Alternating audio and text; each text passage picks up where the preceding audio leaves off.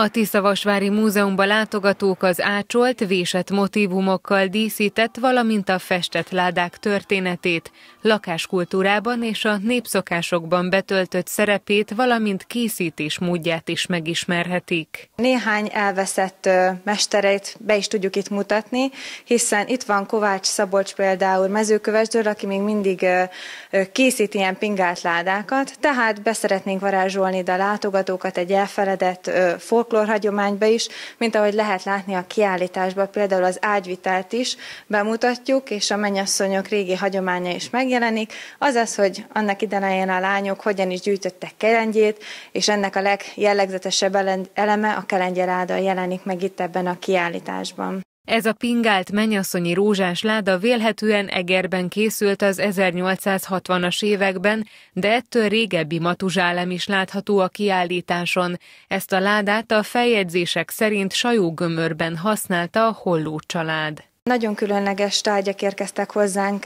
Egerből.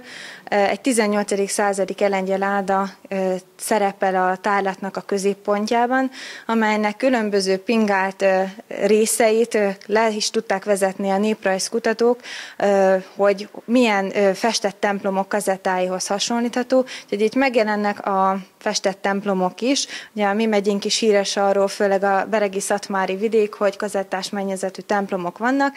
Nem volt ez másképpen Észak-Magyarországon sem, és ez megjelenik a, a paraszti kultúrában is, a kelengyeládában is. A magyar népművészet remekeit, valamint a pingált bababútorokat január közepéig láthatják az érdeklődők Tiszavasváriban.